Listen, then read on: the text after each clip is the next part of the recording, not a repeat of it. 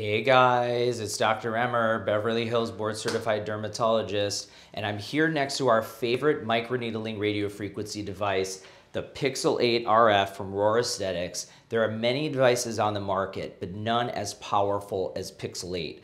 Normal devices have one megahertz of energy. This is delivering two, allowing you to get deeper into the skin with more energy penetration and still that less risk of hyperpigmentation. An enhanced daily feature allows you to protect the skin and decrease that risk of hyperpigmentation. It has three different spot sizes, five by five, seven by seven, and eight by eight. You could treat many areas. We treat the full face and neck. We treat chest, elbows, knees, anywhere we want the skin to be tighter, to have a little bit more brightness. The microneedling RF is a part of our daily treatment plan along with other lasers. You can combine this with other Rohrer aesthetic devices like resurfacing lasers. There's a lot you could do with this device. Most companies have a high amount, high rate with the consumable. This is only about $80 a treatment for the tip, so it's gonna be a great ROI for your practice.